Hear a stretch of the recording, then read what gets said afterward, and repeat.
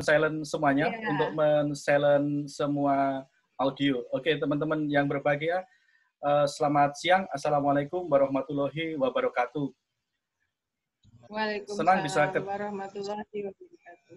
Senang bisa ketemu di siang ini di cuaca yang meskipun mendung tapi hati kita tetap harus selalu cerah.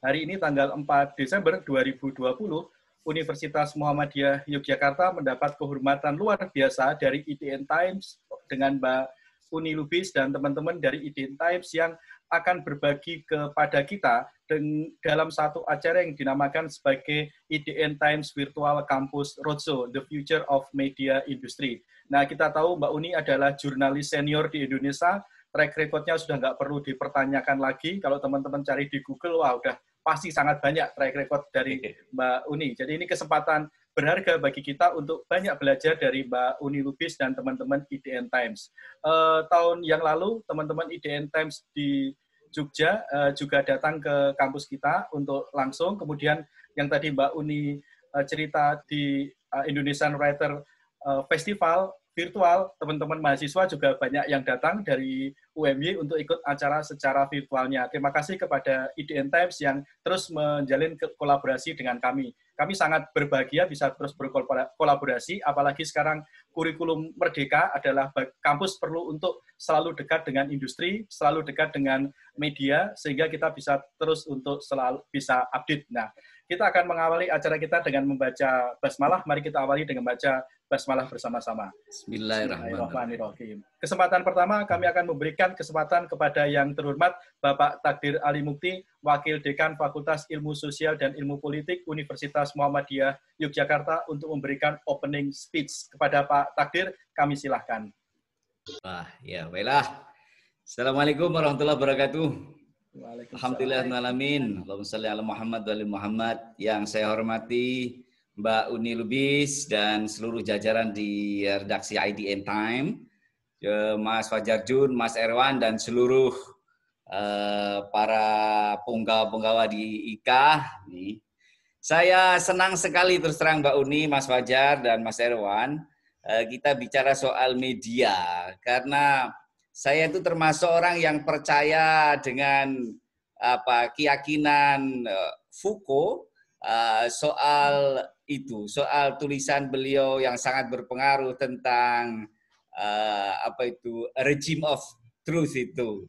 Uh, kebetulan di buku saya yang terakhir itu saya menulis soal representasi media dan poststrukturalisme ya saya termasuk orang yang percaya bahwa peradaban itu salah satunya adalah hasil akhir dari pertempuran media. Dan itu yang yang saya senang dari visinya IDN Time yang dia akan menyasar kepada para panglima-panglima perang masa yang akan datang. Karena ada Gen Z, ada apa itu anak-anak milenial itu kan panglima-panglima perang yang akan datang itu. Dan itu saya percaya bahwa uh, apa namanya akhir sejarah itu uh, peradaban terakhir itu ya kalau dulu kan pemenang perang terakhir itu dengan gun dengan misiu lah. Saya percaya bahwa pertempuran uh, media itulah nanti akan uh, sangat menentukan pada bentuk peradaban yang akan datang itu. Dan panglimanya adalah generasi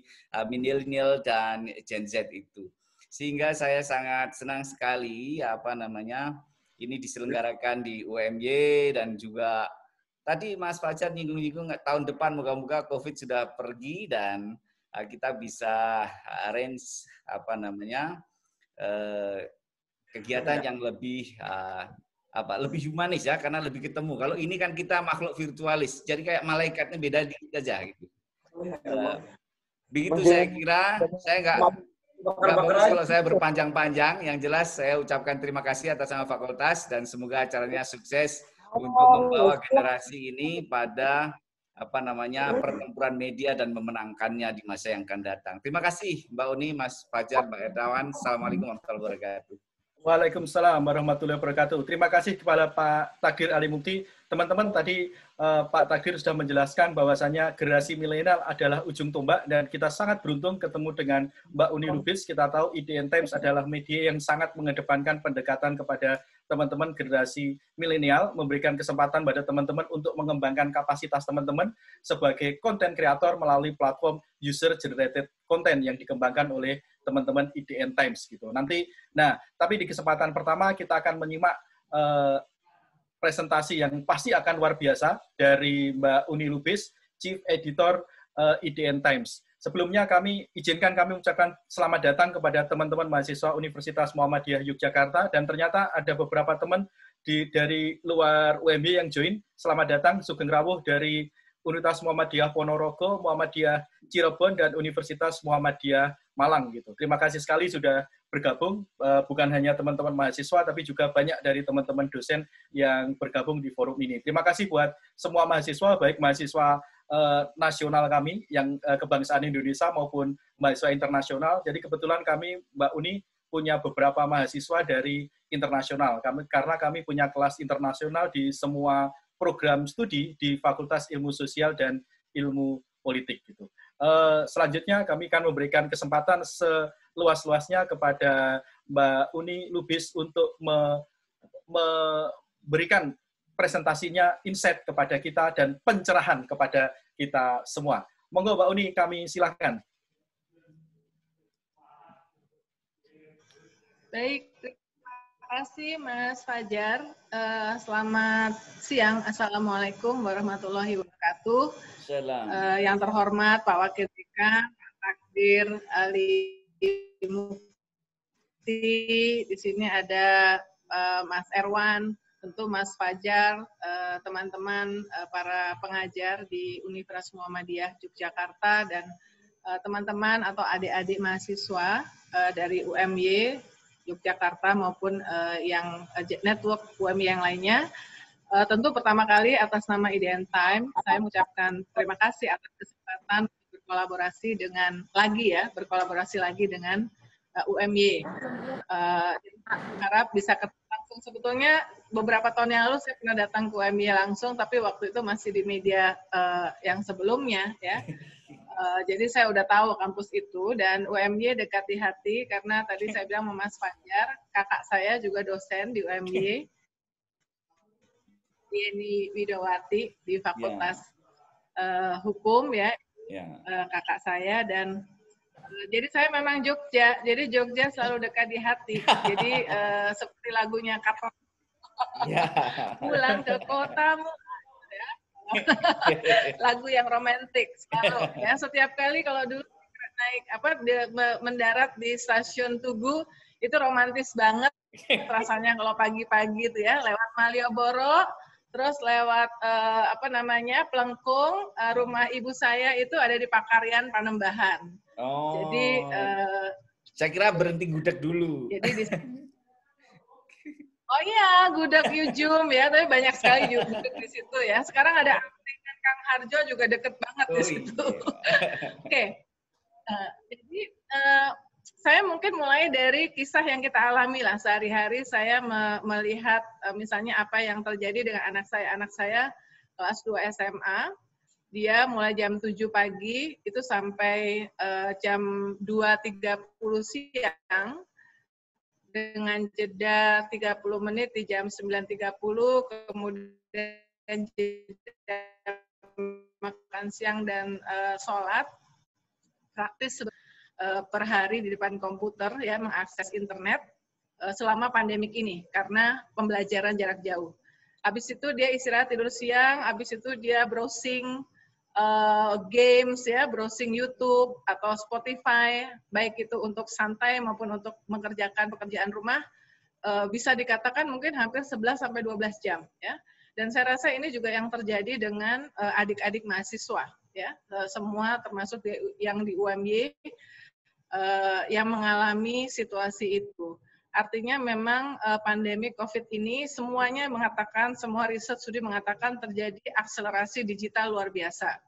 Kemarin kami ngobrol dengan uh, Direktur Utama BCA, ya, dia uh, Pak Yahya Setiatmaja itu cerita bahwa nasabah-nasabah uh, yang usianya di atas 50 tahun, 60 tahun, yang tadinya tuh cuma bisa pakai ATM, tapi selama pandemik ini terpaksa harus pakai M-banking ya. Jadi Jadi uh, industri perbankan payment itu juga mengalami akselerasi digital dan orang-orang seperti saya yang di atas 50 tahun tidak seperti adik-adik milenial yang memang uh, digital native itu dipaksa ya untuk menguasai uh, minimal satu minimal satu keterampilan digital selama pandemik ini minimal zoom kita sebelum pandemi nggak pernah zoom zooman seperti ini kan jadi eh, saya mau mengutip misalnya survei, ada sebuah laporan.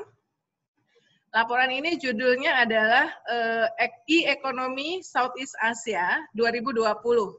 Ini adalah kolaborasi survei yang dilakukan oleh Google, kemudian Temasek. Temasek ini kayak holding BUMN-nya Singapura dan Bain and Company yang menyebutkan bahwa terjadi flight to digital tadi ya, semuanya mengarah kepada ke digital uh, berkaitan dengan ekonomi internet di Asia Tenggara. Nah, laporan ini dibuat berdasarkan survei wawancara lewat uh, lewat apa namanya? lewat seperti ini ya, daring yang melibatkan 4.712 responden di Indonesia, Malaysia, Filipina, Singapura, Thailand dan Vietnam. Jadi uh, tier satunya ASEAN dan dilakukan pada rentang 1 18 Agustus sampai 2 Nah, ya 36 persen dari responden itu uh, me, me, mendapatkan atau melakukan adopsi digital untuk pertama kalinya. Mungkin itu termasuk misalnya ayah saya yang jadi rapat RT-nya pakai Zoom ya. Ayah saya usianya 78 tahun. Sebelumnya kan nggak boleh keluar rumah ya.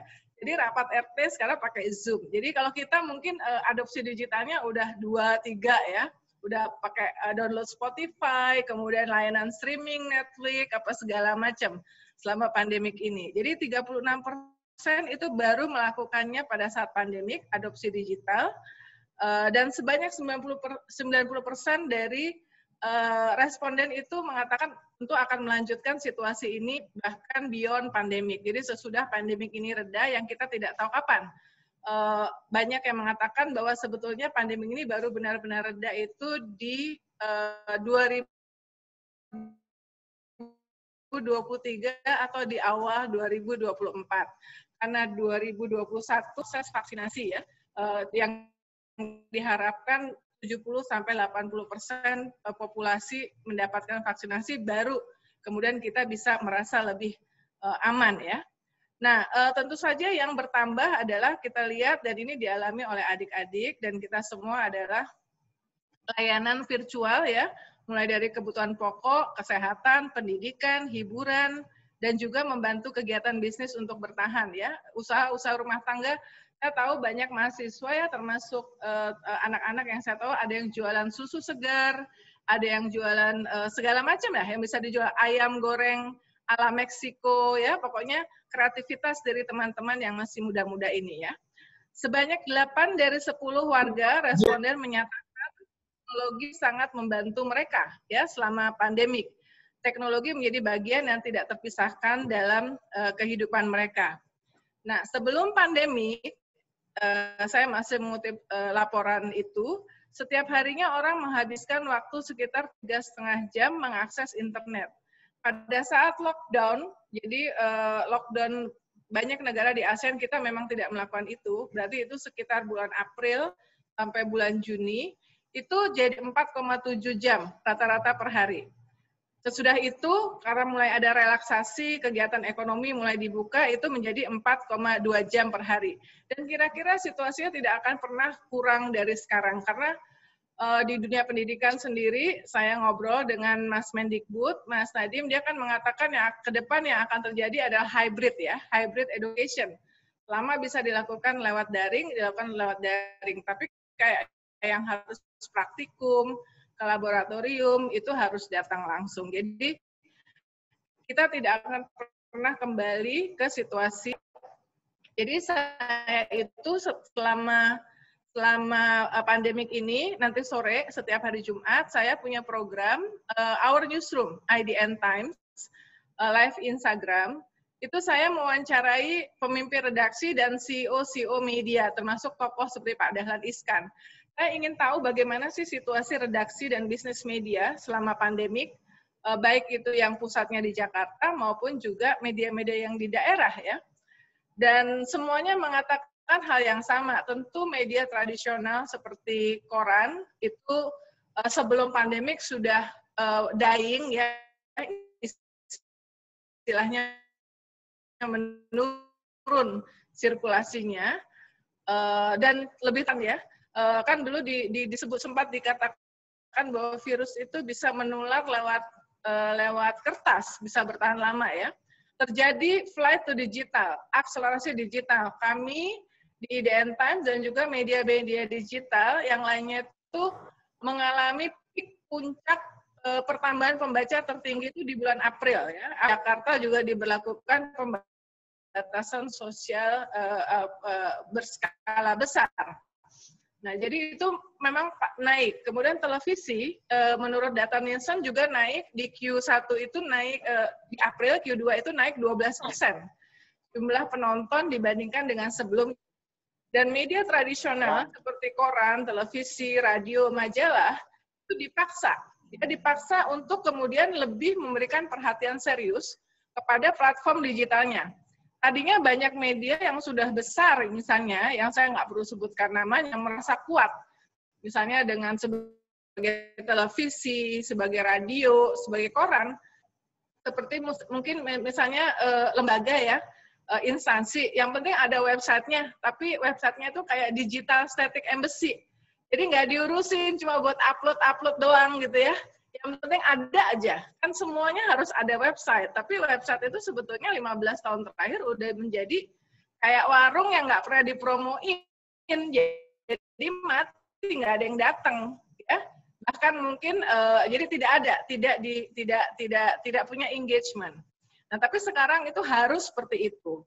Nah, apalagi kami di media uh, digital termasuk di uh, eh, IDN Times ya. Jadi uh, ketika semua yang besar-besar itu masuk dan lebih serius pada uh, platform digital, maka kami-kami yang memang sepenuhnya ada di platform digital itu harus lebih inovatif dan lebih uh, kreatif dalam uh, upaya untuk mempertahankan eksistensinya ya Misalnya di Q pertama, uh, video, karena anak milenial ini kan sukanya ke video ya.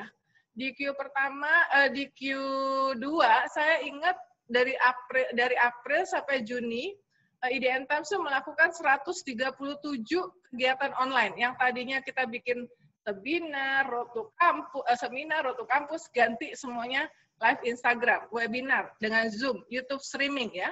Streaming itu adalah salah satu fenomena yang luar biasa dan banyak media yang lain yang juga melakukan hal yang sama ya tidak hanya untuk kepentingan uh, distribusi dari konten tetapi juga untuk monetisasi dari bisnisnya. Kan udah nggak ada seminar-seminar nih di adik uh, Mas Fajar Pak Wakil Dekan ya Pak Takdir. Jadi semuanya saya yakin uh, di kampus juga seperti itu ya.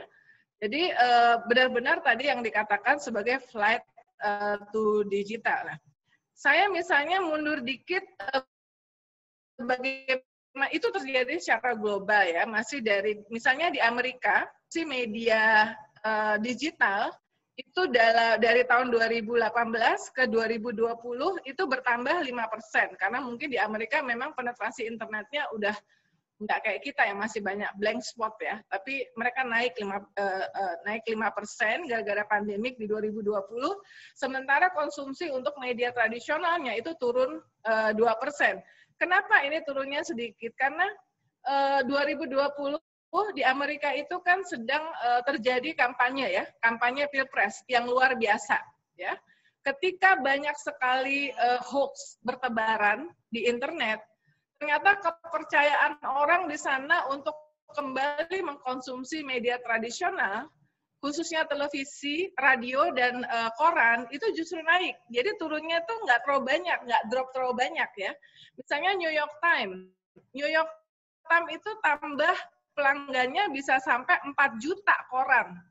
Sementara kita meramalkan bahwa bahwa media tradisional itu justru dying, tapi media-media yang punya reputasi baik, termasuk New York Times misalnya yang paling signifikan dan selalu menjadi studi yang menarik. Tahun 2016 pada pemilu pemilu yang kemudian oleh Trump awal jadi banyak hoax yang tersebar di uh, di ranah internet lewat platform Facebook, uh, Twitter dan yang lain-lain. Justru New York Times itu dapat pelanggan 2 juta karena akhirnya orang kembali ingin mencari trusted guidance, media yang bisa dipercaya. Jadi lewat digital. Dan pada saat pandemik ini nambah lagi. Jadi dia bertambah 4 juta eh, pelanggan untuk yang korannya. Nah, eh, di Tiongkok yang penduduknya 1,4 miliar ya, eh, turun selama 2020 ini turun Eh, konsumen ke media tradisional itu turun. Media tradisional yang saya maksud itu televisi, koran, majalah, radio ya yang masih pakai platform yang sebelumnya. Kalau untuk televisi dan radio itu adalah uh, frekuensi radio ya. Tapi semuanya yang bertambah itu adalah ke arah digital. Nah, sejak pandemi 50% milenial dan Gen Z menghabiskan waktunya di YouTube.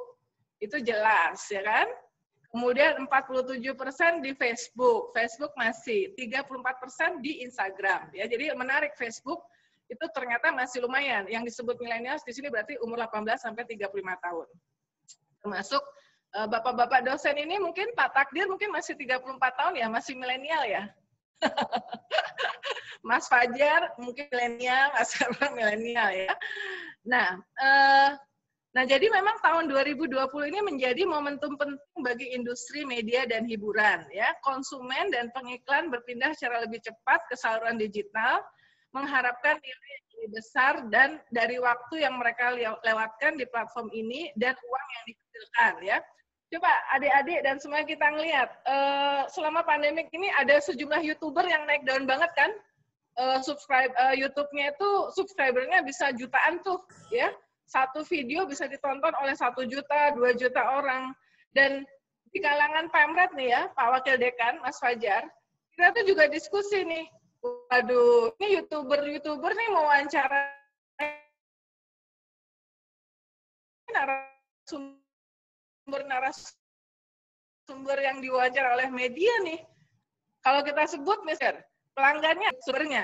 Dia wawancara menteri wawancara segala macam. Itu kan narasumber narasumbernya media ya kan? Apakah menjadi menjadi diskusi hangat di antara kami pemimpin-pemimpin redaksi? Karena saya punya WhatsApp grup dengan 50-an pamret. Ini gimana nih media harus menjaga tetap relevan nih dengan tokoh-tokoh yang uh, bukan jurnalis ya bukan dari media tetapi karena popularitasnya itu bisa mendatangkan uh, audiens atau halayak yang lebih banyak daripada media. Plus dia itu kan karyawannya cuma dua paling, cuma kamera personnya, editornya. Lah kita satu media kayak di IDN Times ada ada 107 orang. Benar nggak? Secara bisnis aja itu jomplang loh. Dari segi cost structure itu jomplang. Jadi bayangkan media yang sebelum pandemik ini sudah neck to neck persaingannya, ya kata Dewan Pers itu ada 47 ribu media di Indonesia, 43 ribu di antaranya itu adalah media digital. Bayangin, persaingannya udah kayak mau mati-mati tuh ya. Televisi aja di Indonesia, di dunia, cuma di Indonesia yang ada 10 dan mungkin sekarang 12 stasiun televisi swasta bersiaran nasional. Di negara lain tuh cuma dua atau tiga aja. Di Indonesia paling banyak. Artinya apa? Persaingan untuk dapat rating, share, dan dapat iklan itu juga gila-gilaan. ya. Jadi paling banyak nih. Makanya disebutkan dalam berbagai survei, Indonesia itu adalah pasar yang masih lukratif untuk media. Lukratif itu kan kalau positive thinkingnya itu eh, apa namanya memberikan peluang. Tetapi peluang karena begitu banyak media itu persaingannya juga luar biasa. Pandemik ini membuat sebagian media tidak bisa bertahan. Ya, yang tidak relevan, yang kemudian bisnisnya sebelumnya tidak efisien, terpaksa harus PHK. Banyak, termasuk media-media yang besar. Ya, PHK-nya nggak tanggung-tanggung, 30, 50, 100, 200. Jadi benar-benar ini tes yang luar biasa. Jadi media industri media itu sama seperti industri yang lain, adalah industri yang terdampak oleh uh, pandemi. Tetapi juga pandemik ini memberikan pelajaran berharga bagi media yang bisa relevan dan uh, bertahan. Nah, di sini saya mau mulai untuk uh, sharing sharing screen ya.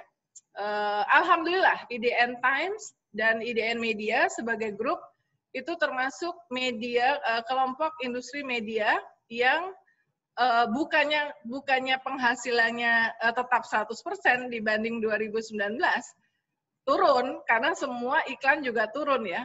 Tetapi posisi kami relatif masih lebih baik dibandingkan dengan media yang lainnya. Nah, apa yang uh, kami lakukan? Nah, di sini saya mau lima, lima menit terakhir ingin sharing Ah. Oke, ini sebagai orang yang kolonial, kadang-kadang uh, sering kali uh, ini nih apa namanya uh, gaptek ya. Uh, Oke, okay, pakai ini.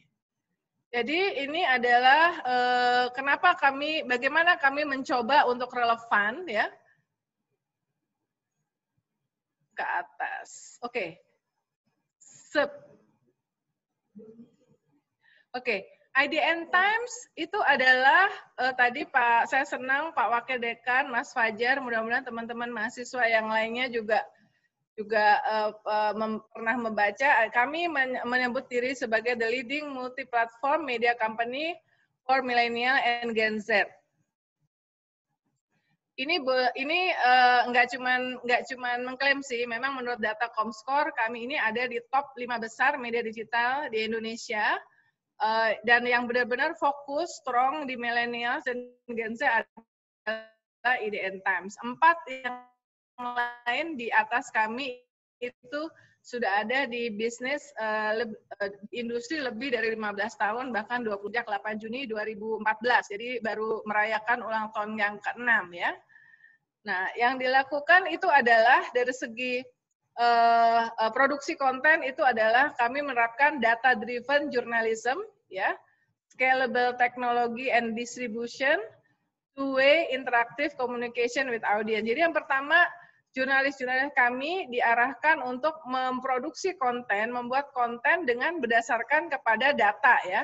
Data yang dimaksud di sini misalnya apa yang data yang kami dapatkan dari uh, Google Analytics ya kemudian search engine optimization yang juga basisnya adalah Google, kemudian CrowdTangle, uh, data analitik yang dikembangkan oleh Facebook, uh, kemudian melihat tren yang ada di YouTube, melihat tren yang ada di uh, Twitter, ini adalah salah satu faktor penting yang kami gunakan untuk memproduksi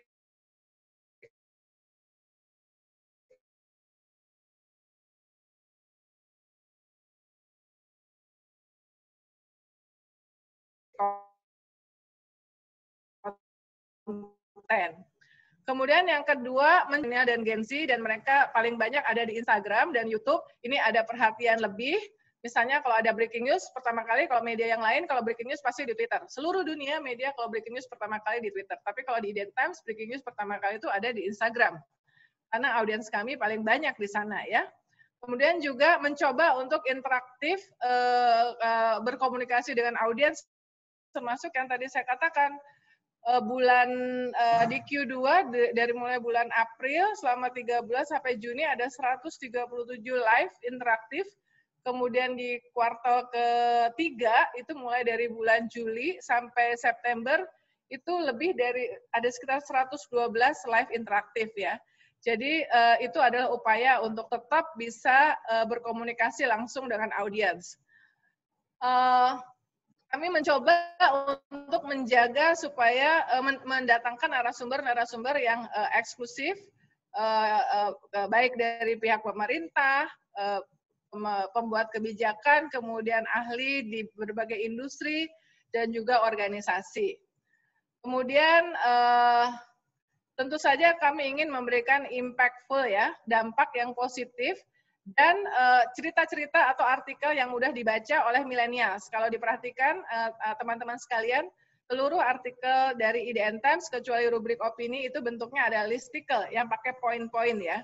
Menurut studi riset itu milenials itu karena banyak banget tugasnya kuliah apa segala macam beda sama zaman saya yang jam 12 siang udah bisa makan siang di rumah ya itu uh, kuliahnya panjang, banyak banget tugasnya, dan kemudian kesempatan untuk mengkonsumsi informasi itu makin sedikit. Dan dengan bullet point yang di, ini pertama kali dilakukan oleh BuzzFeed di Amerika, millennials tuh merasa dibantu untuk mendapatkan highlight atau inti dari sebuah cerita yang misalnya 500 sampai 1.500 kata ya. Makanya kemudian sejak awal IDN Times juga membuat uh, uh, format listicle. Kemudian uh, tadi ini yang scalable technology dan distribution. Nah, sejak 2019 kami itu juga mengembangkan hyperlokal. Karena Indonesia itu bukan cuma Jakarta dan keinginan untuk mendemokratisasi informasi tidak hanya soal mengangkat uh, lokal konten tapi juga memberikan akses kepada uh, uh, terhadap uh, apa namanya konten-konten dari IDN Times buat mereka yang ada di daerah itu juga uh, kami sadari betul. Jadi sekarang sudah ada di 12 provinsi termasuk di Jogja uh, di Yogyakarta. Sekarang semuanya work from home ya. Nah, ini juga yang menarik yang mungkin di media yang lain tidak digarap dengan serius, tapi ini menjadi salah satu kunci uh, kunci apa namanya kunci sukses dari IDN Times dalam waktu singkat ini adalah community writers. Ini adalah platform user generated content yang nanti uh, teman dari community writers juga uh, semoga mendapatkan kesempatan cerita. Uh, platform user generated content yang kami mulai April 2017 ya dan uh, di bulan Oktober tahun 2020 ini baru saja mendapatkan penghargaan award dari Asian Digital Media Award sebagai platform yang paling bisa engage uh, dengan milenial. Jadi uh, kami sudah ada 35 ribuan community writers, uh, 90% saya rasa milenials ya, yang memasukkan tulisannya dan kemudian setiap uh, setiap bulan kami memproduksi atau menerbitkan tujuh ribuan artikel ya, nanti yang lebih detailnya berikutnya. Nah, uh, tadi saya mengatakan bahwa kami sangat memanfaatkan teknologi untuk mendapatkan ide ide berita ya, ide konten, kemudian mengoptimalisasi uh, pengalaman untuk menikmati konten termasuk membaca dan juga memaksimalkan jangkauan dari audiens. Nah, apa yang dilakukan uh, nah, oke, okay. ini adalah proses bagaimana kami memproduksi konten ya. Sangat mengandalkan kepada big data dan menggunakan data driven content creation dan distribution. Nanti saya bisa memberikan bahan-bahannya eh, bahan-bahan ini ya. Jadi mulai dari mendapatkan ide, kemudian kurasi editorial, kemudian menentukan audience segmentation misalnya, dengan IDN app yang kami luncurkan di bulan Juni pada saat pandemik, orang kalau misalnya buka di Jogja misalnya, biasanya dia akan langsung direkomendasikan kalau kalau download kalau teman-teman download IDN app itu juga nanti kalau misalnya e, di Jogja itu akan langsung direkomendasikan yang paling depan itu adalah artikel-artikel yang berkaitan dengan Jogja. Jadi menggunakan artificial intelligence jadi ini uh, adalah salah satu uh, uh, yang kami luncurkan di uh, bulan Juni di saat pandemik dalam upaya untuk relevan ya. Nah ini adalah uh, dan di dan di IDN Apps kalau dibuka itu langsung kita akan ada namanya rubrik tanya jawab. Jadi seperti Quora. Jadi tanya di mana uh, audiens atau halayak itu bisa bertanya apa saja dan nanti yang menjawab tidak hanya dari kami, tapi juga yang menjawab bisa dari pengguna yang lain. Nah ini yang tidak ada di app yang lain. Dan kami sudah mengembangkan IDM ini, IDN app ini menjadi ini uh, super app ya. Yang juga tidak kalah penting adalah peran kami sebagai media untuk memberikan suara bagi yang kurang berdaya atau kurang bersuara ya, giving voice to the voiceless. Nah, uh, ini adalah ekosistem dari uh, eh, IDN Media, IDN Times uh, termasuk di dalamnya. Jadi Pak Wakil Dekan dan Mas Fajar dan adik-adik sekalian, kenapa kok IDN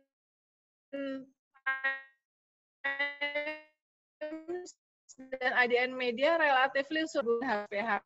Karena dari awal tuh model bisnisnya tidak hanya eh, mengandalkan pada satu revenue stream, kebanyakan kan mengandalkan dari satu revenue stream yaitu cuma iklan, ya.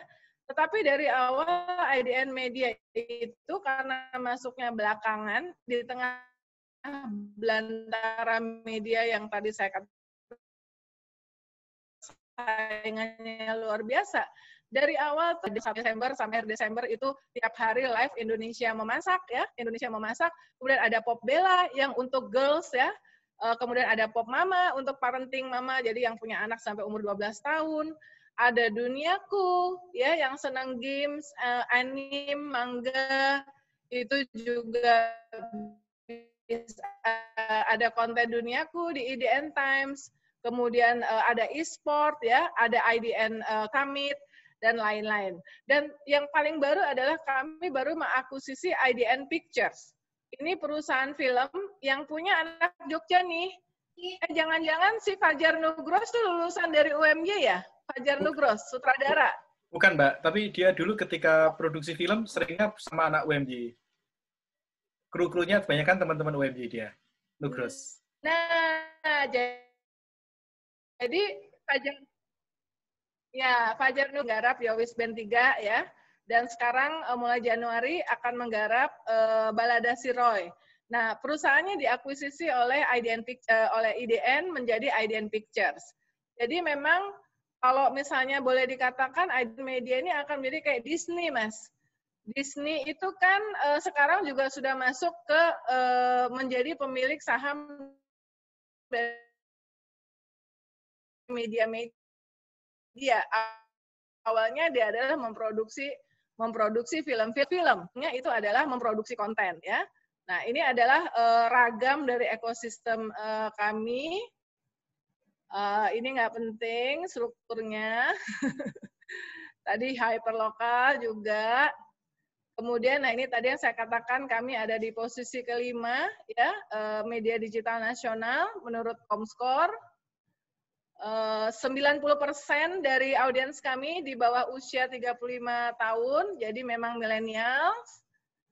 Uh, nah, ini adalah signature program, ya ada beberapa uh, ngobrol seru, ketok pintu, suara milenial, menurut lu, menurut lu, uh, kemudian Indonesia Writer Festival, Community Gathering, Nanti silakan dilihat di YouTube IDN Times.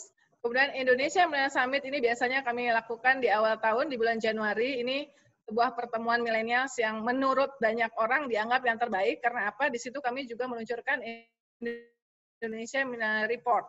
Tahun ini kami tunda, eh, tahun depan 2021 kami tunda ke bulan Juni karena kami menunggu supaya eh, bisa dilakukan offline ya. Kemudian terakhir, nah ini. Nah, apa strateginya? Nah, sebelum ke sini, saya ingin me menyampaikan misalnya beberapa poin yang disebut dengan the future of media, ya, seperti tema kita.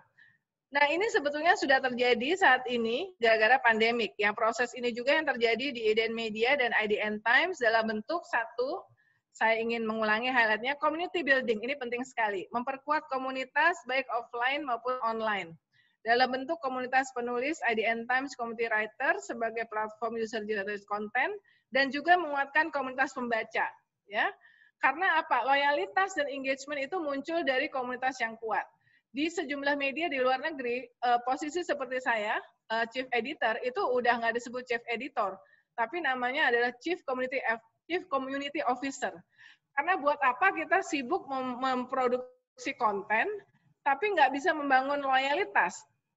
Jadi tantangan bagi media atau siapa pun yang mengelola media, itu adalah bagaimana membangun komunitas yang loyal terhadap media tersebut, eh, termasuk konten-kontennya ya. Kemudian yang kedua, dalam konteks demokratisasi informasi tadi yang hyperlokal memanfaatkan big data ya. Untuk big data ini khusus untuk pemilu, tahun lalu kami mengembangkan namanya uh, fitur millennials memilih yang kami uh, tayangkan itu mulai bulan Oktober 2018 sampai April pada saat pemilu 2019. Dan fitur itu di fitur itu itu juga inovatif ya. uh, tujuannya adalah uh, uh, edukasi untuk pemilu terutama untuk milenials. Milenials itu bisa nanya, bisa bertanya ya dan kemudian kami mencarikan jawabannya. Bisa kami jawab sendiri atau kami bertanya kepada parpol atau kandidat yang memang ingin dijangkau karena kan kami ini media seperti jembatan di antara audiens ya dengan narasumber. Dan platform itu mendapat tahun 2019 mendapatkan penghargaan dari ASEAN Digital Media Award sebagai platform terbaik untuk uh, untuk millennials engagement ya. Dan uh, mulai dari awal mulai dari awal Desember ini kami aktifkan lagi untuk pilkada serentak tanggal 9 ya. Jadi itu adalah upaya kami untuk memanfaatkan teknologi uh, untuk uh, menjangkau audiens uh, audiens kami ya. Kemudian tadi super app ADN app dikembangkan menjadi uh, super app sehingga semua orang hanya dengan download IDN app itu bisa mendapatkan berbagai macam konten. Kemudian memberikan perhatian besar kepada video dan layanan streaming. Ya, yang nonton di sini yang nonton Netflix. Netflix itu dalam kuartal pertama dari 2020 itu mendapatkan 16 juta pelanggan, tambahan pelanggan. Di Indonesia pelanggannya itu sekitar 480 sebelum uh, pandemik dan kemudian naik dua kali lipat sesudah pandemik ribu ya, 480 ribu ya. Karena semuanya sekarang nggak bisa ke bioskop, kemudian stres di rumah aja, baik yang pelajar, mahasiswa maupun uh, kita ini ya. Uh, jadi uh, hiburannya itu adalah uh, menonton dari layangan uh, layanan streaming. Nah, uh, pendiri IDN Media, Winston Utomo dan William Utomo kemudian menjadikan 2020 ini sebagai uh, momentum untuk uh, menjadikan IDN Media tidak hanya sebagai perusahaan media, tetapi menjadi a one-stop media platform. Ya, karena itu tadi kami nggak cuma produksi konten, kami juga produksi dari user generated content, produksi video juga, ya, produksi berbagai online activities, dan juga memproduksi film, ya. Jadi kami nggak lagi hanya menjadi media company, tetapi eh, apa namanya konten platform company, ya. Jadi semuanya konten itu eh, bisa diproduksi dan dinikmati oleh halayak dari IDN Media, termasuk eh, IDN Times. Dan ini adalah the future of media, ya. The future of media itu adalah eh, ketika media tidak hanya sekedar memproduksi satu atau dua jenis, tetapi menjadi kayak semacam agregator ya, smart agregator. Dengan satu uh, app misalnya ya, uh, uh, orang bisa mengakses berbagai macam informasi uh, dalam berbagai macam konten, termasuk podcast, uh, di melalui uh, super app yang sedang dikembangkan oleh apa namanya IDN Media dan IDN Times. Jadi memang itulah arah dari The Future of Media versi strategi dari IDN Times adalah semuanya nantinya akan bisa mengkonsumsi berbagai macam konten melalui platform uh, app kami. Nah ini strategi yang kenan ya. Uh, berusia uh, lebih dari 100 tahun, amin, ya rabbal alamin, kita mau udah nggak ada pada saat itu ya. Dan ini yang paling penting uh, terakhir nih menjadi perusahaan yang memiliki kultur yang baik ya. Saya percaya bahwa teknologi itu penting, tapi yang tidak kalah penting itu adalah kami kami ini ya. Kami menyebut diri kami Timi, karyawan di Eden Media itu Timi, kami kan orang-orang yang bermanfaat ya. Pada saat kami memproduksi konten membuat kegiatan itu dengan pikiran bahwa apa yang kami lakukan ini adalah sesuatu hal yang bisa memperbaiki uh, kehidupan uh, orang lain audiens jadi bermanfaat. Dan uh, itulah yang menjadi dasar buat kami untuk bekerja jadi uh, ini mungkin uh, Mas Fajar uh, yang ingin yang bisa saya sampaikan mudah-mudahan nanti saya bisa berdiskusi ngobrol dan juga belajar dari Pak Dekan, dari dosen, dari pertanyaan adik-adik semuanya. Terima kasih. Assalamualaikum warahmatullahi wabarakatuh. Waalaikumsalam warahmatullahi wabarakatuh. Luar biasa insight dari Mbak Uni. Bahkan sekarang IDN Times sudah mengembangkan ke IDN Times Picture, Mbak ya, IDN Picture dengan Mas Fajar Nugros. Kebetulan mahasiswa kami ya, tanggal 30 kemarin, Mbak, menang di kompetisi Festival Film Mahasiswanya Kemendikbud. Juara satu sama harapan. Jadi juara oh, umumnya UMY. Ya. Gitu, Festival Film Mahasiswanya Kemendikbud. Okay. Jadi cocok deh kalau nanti ke nanti Jogja. saya juga bisa saya bisa maksa Nugros, nanti saya katanya Nugros, kalau Nugros lagi pulang kampung, karena kan uh, Nugros anak Jogja kan? Iya, bisa. Kalau bisa. dia mau lagi pulang kampung ke Jogja, biar bisa mampir ke ini. Uh, ke UMB, bisa. Oke, teman-teman. Uh, kita masuk ke sesi tanya-jawab, question answer. Silahkan uh, boleh raise hand kalau mau bertanya secara lesan, namun juga boleh teman-teman bertanya secara tertulis dengan menuliskan di kolom komentar. Monggo silahkan di, bisa dimulai dari sekarang.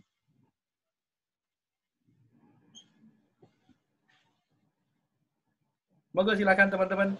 Sambil nunggu pertanyaan dari teman-teman, saya ingin mengawali pertanyaan kepada Mbak Uni. Mbak, sebenarnya eh, apa namanya media eh, sebenarnya apa yang tadi Mbak Uni cerita tentang user generated content, membangun platform dan sebagainya, itu visi besar yang hendak dibangun IDN Times terutama dengan melibatkan generasi milenial apa Mbak? Bisa dijelaskan Mbak kolaborasinya dan sebagainya. Ya. Uh, nanti nanti uh, kalau untuk teknisnya ada sesi dengan community writers kan ya. Oke, Tapi siap. yang bisa saya sampaikan adalah begini. Pertama, uh, memang tagline-nya IDN Times itu masih voice, the voice of uh, millennial ya, suara milenial. Jadi uh, dalam konteks itu uh, kami tentu saja tadi kan uh, menyampaikan targeting milenial dan Gen Z ya. Uh, akan sangat lebih dekat kalau misalnya konten-konten yang diproduksi ya disampaikan uh, disajikan oleh IDN Times itu juga konten-konten yang dekat dengan millennials dan biasanya uh, akan lebih juga lebih efektif kalau yang buat itu adalah milenial kalau Uni Lubis yang udah lebih dari 50 tahun ini agak-agak suka ngelek juga nih, apa, apa namanya, gegar juga nih. Kalau misalnya harus menulis dan memproduksi konten untuk milenials. Nah, uh, itu satu. Jadi kami memang mencoba untuk uh, mendekati milenials uh, yang menjadi target audiens kami dengan juga memberikan platform ya kepada milenials-milenial yang bukan wartawan, bukan jurnalis, bukan bekerja di media, untuk juga mendapatkan platform untuk menulis ya. Uh, menjadi kreatif dan ada platform uh, untuk menyampaikan uh, kreativitasnya ya. Dan ini sih menarik ya karena kayak tadi saya katakan sebenarnya dalam waktu dalam waktu yang sangat singkat platform ini sudah berhasil menjadi tempat bagi tadi saya katakan hampir 35 ribu dari millennials uh, untuk uh, menulis ya dan teman-teman milenials ini uh, kalau misalnya tulisannya dibaca oleh banyak orang, itu di akhir bulan langsung bisa diredeem uh, mendapatkan uang tunai, ya, mendapatkan uang tunai uh, dan mereka bisa menulis apa saja, ya. Makanya mungkin uh, pada saat kami meng mengadakan signature event tahunan Indonesia Writer Festival, itu tagline yang kami usung itu adalah uh, empowering Indonesian through writing. Ya, memberdayakan Indonesia, Indonesian, dalam hal ini milenial Indonesian dan juga halayak siapa saja, karena yang membaca kan nggak harus milenials, itu melalui penulisan. Karena teman-teman ini menulis apa saja, menulis tentang budaya lokal, kuliner lokal, eh, sejarah eh, lokal, ya, eh, kearifan lokal, ya, hal-hal yang terjadi di level lokal, dan itu di, di, di, disajikan lewat tulisan. Ya, jadi tulisan itu bisa memberdayakan yang menulis dan tentu saja kami berharap juga memberdaya, memberdayakan dan mereka yang menjadi halayak yang membaca tulisan tersebut. Jadi empowering Indonesian through writing. Dan ini sebetulnya sejalan dengan uh, niat dari IDN Media dan IDN Times apa yang uh, pertama kali yaitu uh, ingin mendemokratisasi informasi.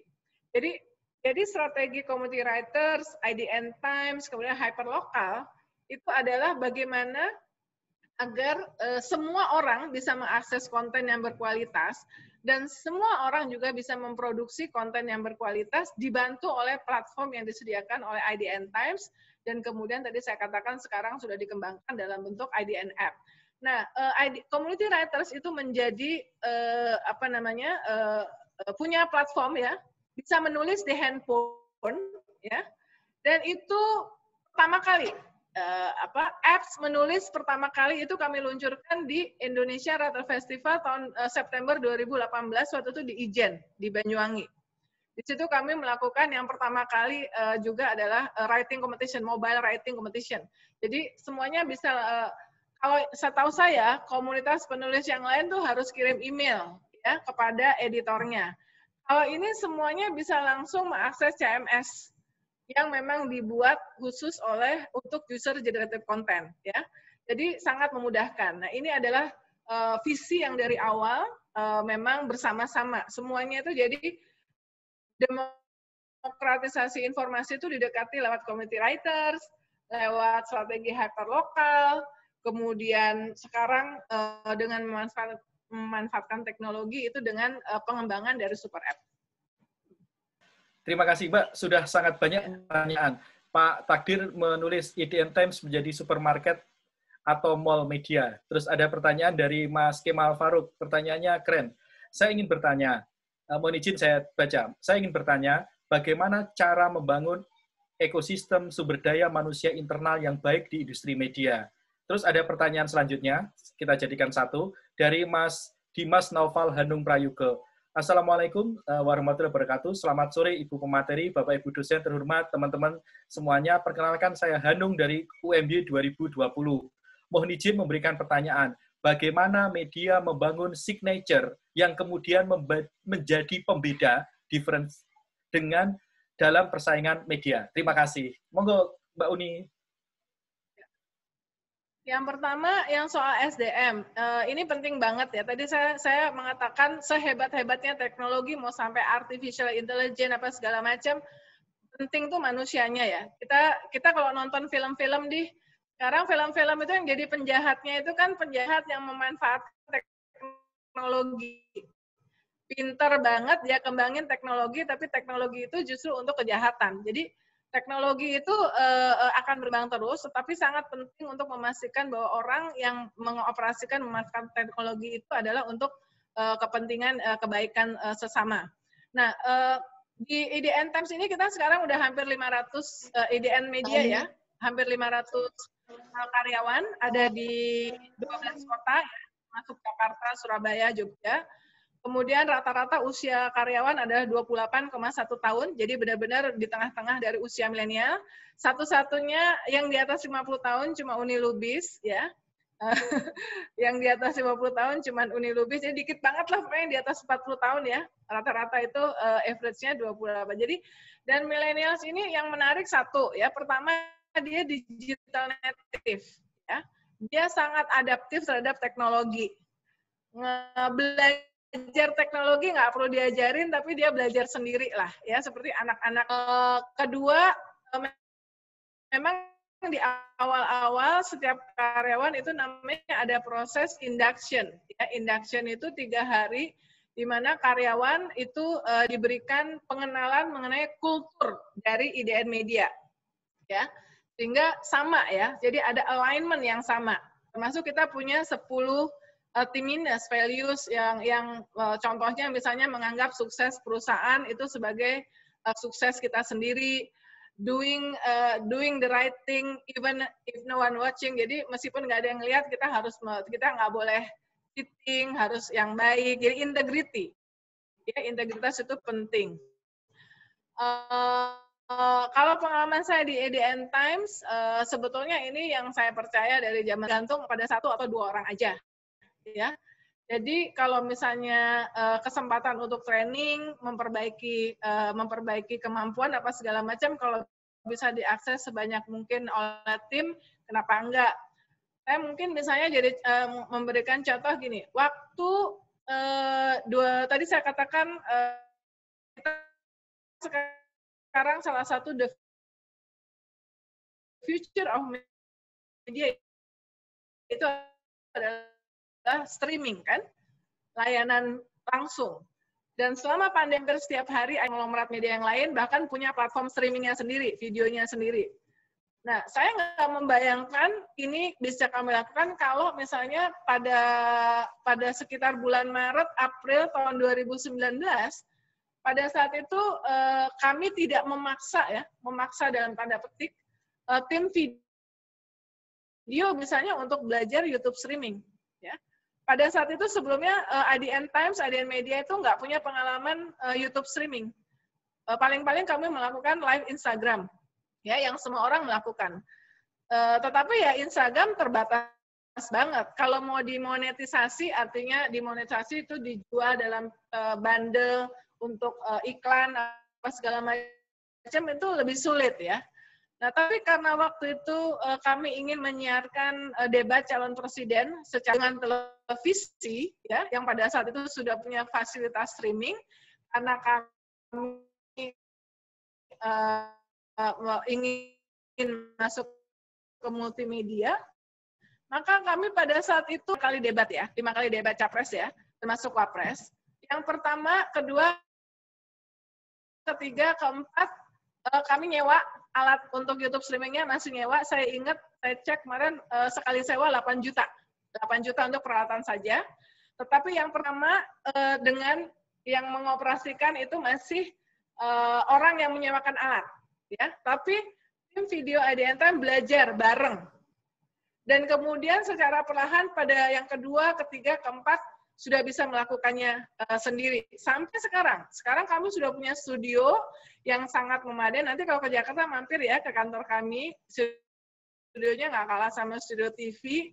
Kemudian teman-teman video semuanya bisa melakukan YouTube streaming. Sekarang saya wawancara calon uh, calon karyawan dari televisi saja, ya, dari televisi, televisi gede. Saya tanya, kamu udah pernah YouTube streaming belum? Belum. Jadi video IDN Times itu standar semuanya bisa YouTube streaming ya. Nah, ini adalah uh, jadi setiap kali uh, kami mencoba untuk bisa belajar bareng. Ya. Jadi proses belajar itu kalau bisa dilakukan bersama-sama tidak hanya karena ini adalah dalam konteks membangun sistem orang itu kan kalau cuma ke satu orang dia bisa cuti, bisa sakit, bisa oh, bisa resign.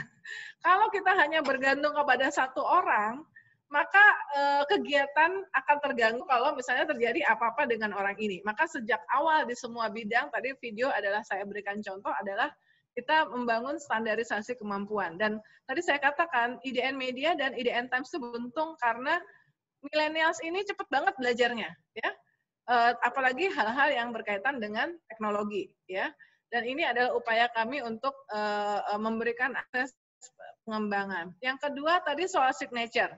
Saya mungkin memberikan contoh gini, waktu bulan, saya ingat bulan Maret tahun 2018, saya bergabung dengan IDN Times Desember 2017.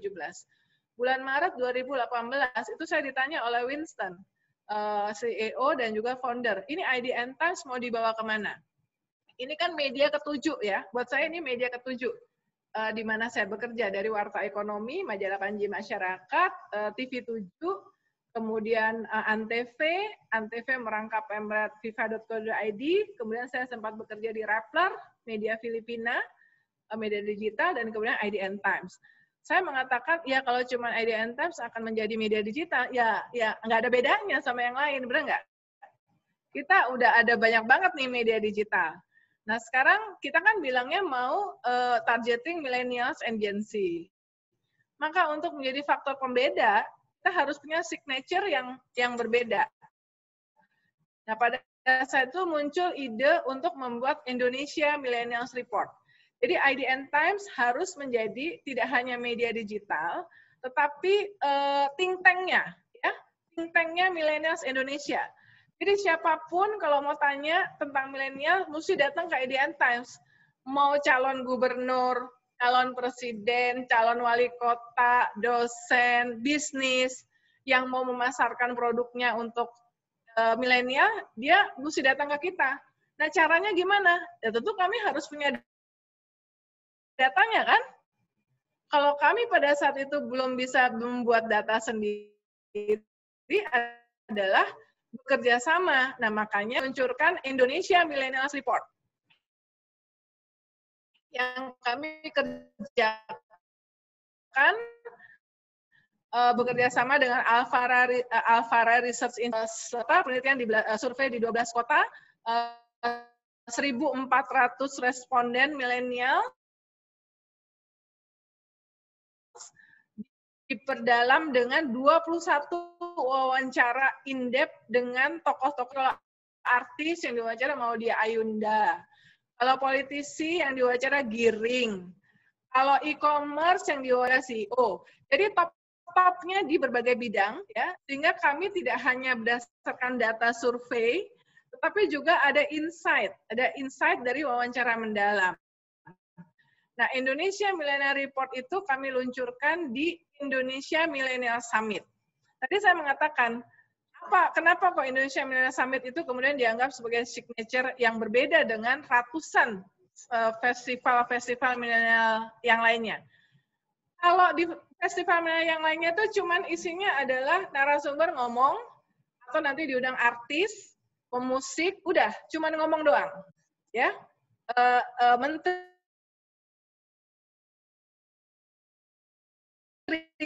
siapa siapa CEO ini. Tapi di Indonesia maknya yang diluncurkan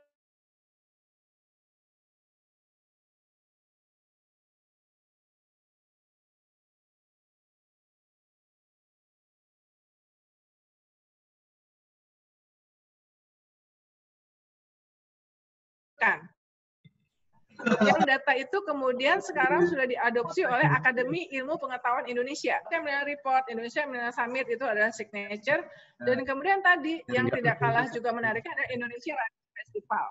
Ya, jadi memang harus mager tuh bajingan. Wih,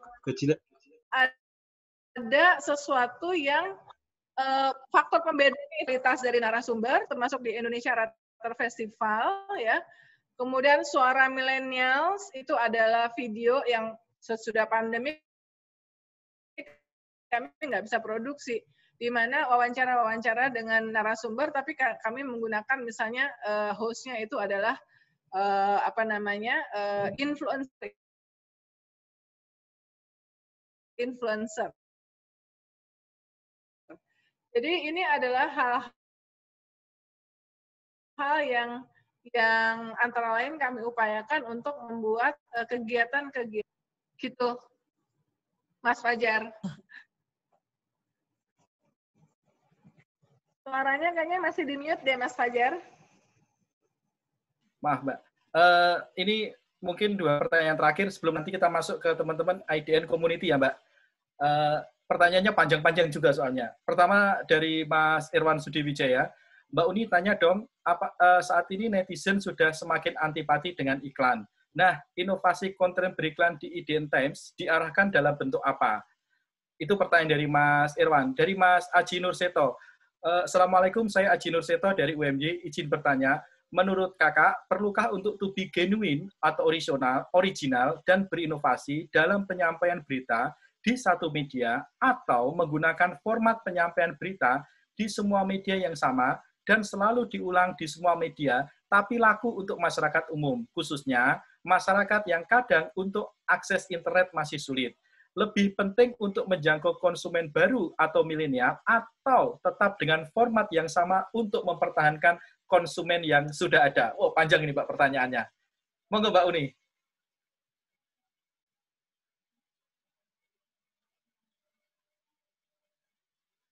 Halo? Sepertinya sinyalnya putus. Putus. Halo Mbak Uni. Silakan Mohon diulang Oke. Ini videonya. Maaf, tadi bermasalah. Oke, siap. Mohon diulang pertanyaannya. Pertanyaan pertama, eh, Mbak Uni tanya dong, saat ini netizen sudah semakin antipati dengan iklan. Nah, inovasi konten beriklan apakah yang boleh uh, yang bisa dibuat agar ditonton oleh audiens. Yang kedua, pertanyaannya panjang, tapi semoga bisa dijawab dengan ringkas. Assalamualaikum, saya Aji Nurseto dari UMY. Izin bertanya, menurut Kak Uni, perlukah untuk to be genuine atau original dan berinovasi dalam penyampaian berita di media atau menggunakan format penyampaian berita di media yang sama dan selalu diulang di semua media tapi laku untuk masyarakat umum khususnya masyarakat yang kadang untuk akses internet masih sulit. Lebih penting untuk menjangkau konsumen baru, milenial, atau dengan format yang sama, tapi untuk mempertahankan konsumen yang sudah established, sudah ada. Begitu Mbak, mohon dijawab ringkas, meskipun pertanyaannya panjang. Ringkas dan memuaskan. Yang pertama inovasi iklan. Ini ini saya terus terang aja uh, kita juga kalau misalnya uh, iklan itu dalam bentuk pop up ya, maksudnya iklan kan sekarang di media digital kan banyak iklan dalam bentuk pop up ya. Kadang-kadang suka nyebelin ya, ngeselin karena untuk uh, bisa membaca konten harus muncul muncul uh, ke iklan itu dan kadang-kadang uh, silangnya itu makin kecil, benar nggak? jadi jadi terpaksa harus uh, mengetik itu. Uh, tapi kita kalau bersaing dengan itu saja memang uh, nggak nggak akan bisa bersaing dengan media yang lain ya. Tapi uh, yang ingin saya sampaikan adalah ini juga yang diluncurkan oleh uh, IDN Media pada saat pandemik yaitu uh, OOH ya, jadi uh, programatik ya. Uh, mungkin Jogja akan menjadi salah satu uh, kota yang pertama. Jadi kami itu uh, mengembangkan dan memiliki paten. Nah ini ada inovasi menggunakan artificial intelligence ya. Uh, kalau di taksi itu kan di atasnya itu ada layarnya ya, ada layarnya yang LCD ya. Uh, ini buat teman-teman semua kita juga baru tahu ya bahwa ternyata paten itu sangat spesifik. Misalnya sebelumnya itu kalau yang LCD-nya itu ngadep ke depan sama ke belakang di atas taksi itu udah ada udah ada yang punya patennya ya. Jadi orang lain nggak bisa pakai. Nah kami itu mengembangkan uh, eh, IDN uh, eh, programmatic uh, uh, outdoor itu di atas mobil. Layarnya itu uh, LCD-nya menghadap ke kiri dan kanan yang itu bisa dikendalikan secara remote. Misalnya gini kalau lewat di Malioboro, orang Malioboro yang mau dipasarin misalnya produk mie instan misalnya ya. Jadi dari ujung ke ujung Malioboro karena pakai artificial intelligence, ketika mobil-mobil ini lewat, itu yang muncul cuman iklan mie instan itu. Ya. Tapi misalnya nanti keluar e, masuk ke Jalan Solo misalnya, mau yang diiklankan itu adalah misalnya UMY, ya maka otomatis begitu mobilnya melewatin batas itu, yang akan muncul itu adalah iklannya UMY, ya. Jadi benar-benar targeted by location dan itu bisa di remote, bisa di bisa disetel dengan menggunakan artificial intelligence, ya. Ini uh, salah satu uh, belum ada media lain, apalagi perusahaan lain di Indonesia yang melakukan hal seperti ini. Jadi ini rights patennya itu dimiliki oleh IDN Media. Ini adalah salah satu contoh bagaimana kami memanfaatkan teknologi termasuk artificial intelligence untuk mendapatkan pemasukan. Jadi iklan itu kan tidak hanya, tadi saya mengatakan di awal, eh, dari awal IDN Times dan IDN Media itu tidak mengandalkan pada satu revenue stream. Seperti yang dilakukan oleh kebanyakan media yang lain yang hanya pasang iklan di uh, istilahnya itu display ya di di layar ya atau pop up atau native native uh, yang bentuknya artikel sponsor ya. Karena semuanya melakukan itu ya. Kami harus mencoba inovatif. Tadi saya katakan contohnya itu IDN iklan-iklan di IDN uh, uh, app itu juga adalah bentuk-bentuk uh, yang uh, juga kami siapkan untuk uh, melayani uh, kepentingan dari uh, produser uh, produsen ya yang ingin oh satu lagi satu lagi dari awal itu ada namanya IDN Creator Network. Ya. IDN Creator Network itu uh, kami sekarang kayak menjadi talent management untuk lebih dari 5.000 influencer. Ini kayak agennya artis. Kira-kira ngebayang nggak? Jadi misalnya kayak influencer X, dia punya akun Instagram, followernya itu mulai yang kami kelola itu mulai dari yang followernya cuma 1000, 3000 sampai yang jutaan. Tarifnya beda. Jadi kalau ada produk yang ingin mengiklankan atau kampanye dengan menargetkan milenial dan Gen Z, kami bisa juga menawarkan bentuk iklan lewat atau campaign, digital campaign lewat ADN Creator Network karena IDN Creator Network ini mengelola lebih dari 5.000 Creator Network atau biasa kita kenal eh, juga dengan influencer. Bisa dia artis, bisa dia YouTuber, bisa segala macam. Ini yang juga tidak dilakukan oleh media yang lain. Bagian yang sejak awal menjadi sumber untuk revenue stream ya. Jadi memang nggak hanya tadi, nggak hanya iklan yang kelihatan ya, jadi macam-macam bentuknya. Uh, Yami juga yang tadi saya katakan menjadi uh, sekarang sedang ada Indonesia memasak mulai dari tanggal 1 Desember kami memproduksi video-video kuliner misalnya ya uh, yang banyak banget kerjasama dengan brand. Jadi macam-macam banyak sekali revenue stream. Yang kedua uh, pentingnya orisinil, uh, orisinalitas ya. Kira-kira tadi pertanyaan agak panjang ya. Ya menurut menurut kami sih penting ya. Menurut saya itu penting banget ya karena originalitas itu membuat kita stand out atau kelihatan visible di antara tadi, di antara tsunami konten kreator. ya. Media ini kan hanya salah satu konten kreator. Sekarang semua orang bisa menjadi konten kreator. Tadi kita saya menyebut satu atau dua nama youtuber yang ujuk-ujuk dalam waktu kurang dari satu tahun subscribernya udah 12 setengah juta karena dia memberikan originalitas ya tampilan cara bertanya dan uh, kalau saya sih ngelihatnya bahwa uh, mereka bisa kita anggap sebagai pesaing, tapi mereka bisa kita anggap sebagai tempat belajar juga. Oh ternyata dia banyak yang nonton, banyak yang konsumsi karena ternyata penyajiannya, cara bertanyanya, pilihan narasumbernya, segala macam menarik. Jadi eh, singkatnya penting sekali sih, terutama di era saat sekarang itu karena originalitas itu membuat kita berbeda dari yang lain dan ketika kita berbeda maka ada potensi buat kita untuk uh, bisa menjangkau audiens yang kita harapkan. Oke, terima kasih Mbak Uni. Tadi yang iklan tadi kebetulan Mas Irwan ini kan pakar iklan banget, peraih Pinastika berkali-kali, Mbak. Oh iya iya Mas Irwan, iya. Mahasiswa bimbingannya sering menang, menang Pinastika. Nanti ketika Mbak Uni cerita, saya tuh baru kepikiran banget. Harusnya kami di perguruan tinggi juga aware pada isu-isu seperti itu, teknologi tepat guna dan sebagainya. Nanti kapan-kapan yeah kita ngobrol lebih intens bicara tentang iklan yang out of the box. Karena bagi kami itu tiba-tiba kayak apa Mbak ya, ketibanan Mbak asteroid gitu loh. Idenya benar-benar out of the box yang kita tuh nggak pernah mikir sebelumnya. Ada yeah, ide seperti yeah. itu. Karena gitu, karena kan kalau sekedar pasang baliho baliho kan udah biasa ya.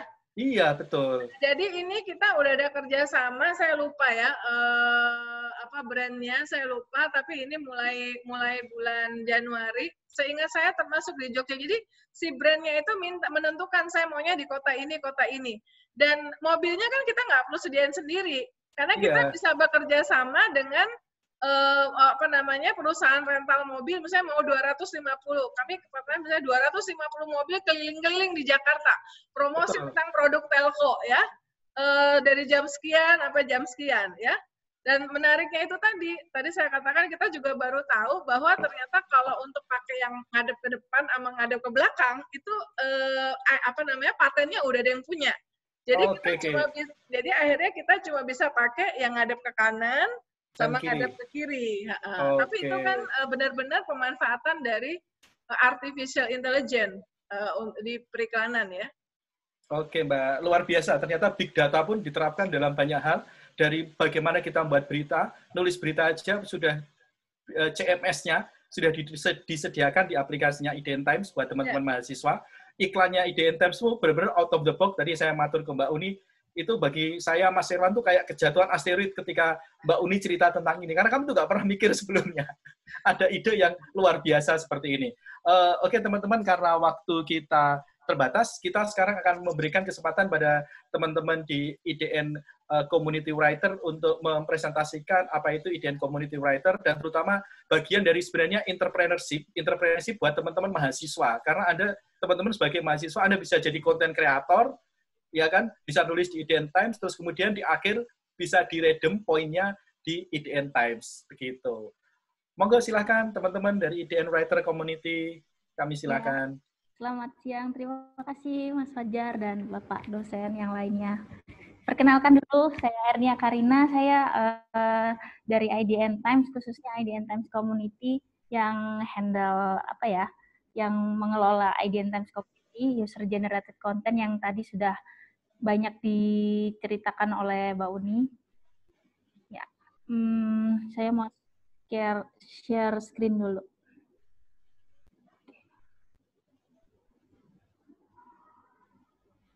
Ya, uh, tadi sempat ditanya sih sebenarnya apa Times Community dan seperti apa sih uh, uh, lebih lengkapnya. Jadi IDN Times Community adalah platform menulis ya, platform menulis user generated content yang ada di IDN Times. Jadi bisa dibuka di melalui website IDN Times dan juga IDN App itu uh, yang lewat aplikasinya.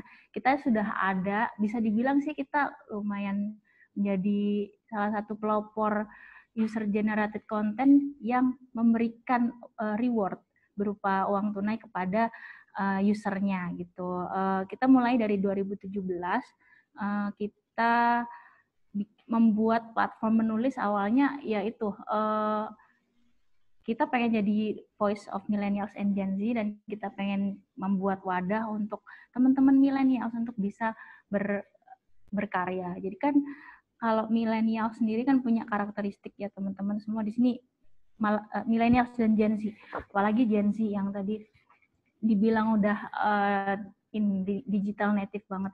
Itu karakteristiknya sangat sangat ingin nggak cuman menjadi pembaca nggak cuman uh, apa ya mengikuti tren tapi juga pengen ber, apa berkreasi kreator. Jadi DNA-nya itu adalah seorang kreator kalau millennials dan Gen Z. Jadi karena itulah kita tuh pengen juga jadi media yang jadi wadah tempatnya millennials dan Gen Z untuk berkreasi itu. Nah, um, jadi nggak cuma platform doang, tapi kita juga mengembangkan uh, apa namanya komunitasnya. Jadi kita sekarang udah ada lebih dari 34 ribu community writer yang kita sebut community writer itu yang aktif mengirimkan tulisan di IDN Times dan dari situlah semakin menguat setelah uh, sudah tiga tahun berjalan sejak 2017 itu semakin besar komunitas kami kita punya banyak sekali kegiatan kita uh, setiap bulannya kita juga ada bonus promo point untuk para community writer kita. Terus kita juga sering melakukan community gathering bareng dengan sama penulis.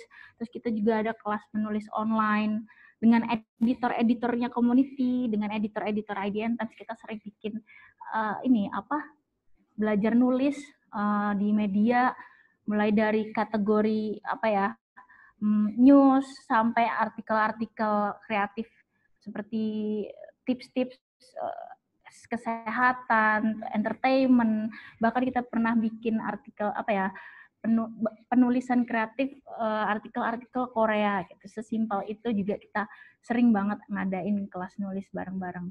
Terus uh, yang salah satu yang terbesar yaitu Indonesia Writers Festival yang pernah didukung oleh teman-teman mahasiswa Universitas Muhammadiyah Jakarta.